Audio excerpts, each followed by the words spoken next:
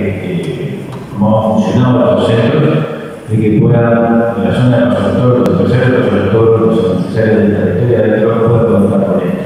Muchas gracias.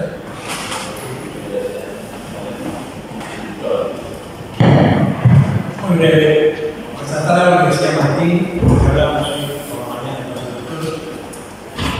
Una inversión en el deporte, que probablemente traiga otras muchas inversiones. Y eso puede estar bueno, pero también es importante el trabajo que hacen los actores que ya están en el territorio para fortalecer la asociatividad de las empresas y emprendedores territorio.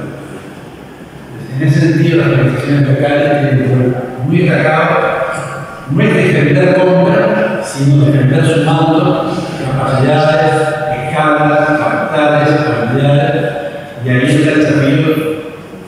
comercial, de otros actores locales que pueden aportar claramente.